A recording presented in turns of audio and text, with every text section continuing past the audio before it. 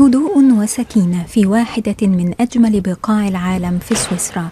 إلى أن يحين موعد مسابقة الغطس.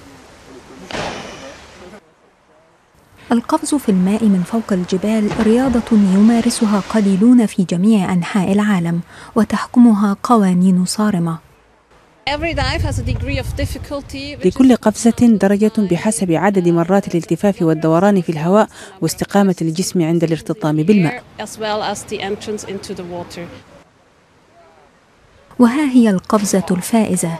لكن بالنسبة للفائز فالجائزة الذهبية هي الغطس في بيئة كتلك. أنا معتاد على الغطس في حمامات السباحة المغلقة والمفتوحة وهما مختلفان.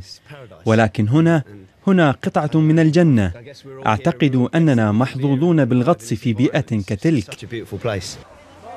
قفزة الأعصاب كما يطلق عليها تتطلب تركيزا عاليا وأعصابا من حديد.